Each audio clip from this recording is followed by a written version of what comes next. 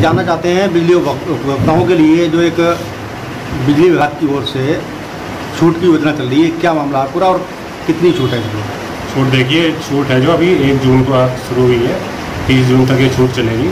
इसके अंतर्गत जो घरेलू उपभोक्ता है हमारे, सभी जितने भी उनका लोड हो, एक किलोवाट से लेके सभी लोड के लिए।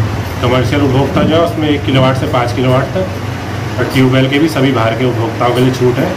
इसमें अप्रैल तक का जो ब्याज है उनके बिल में उसमें शत प्रतिशत छूट है।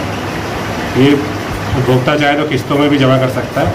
अगर एक लाख से कम उसका मूल है तो छः किस्तों में जमा कर सकता है।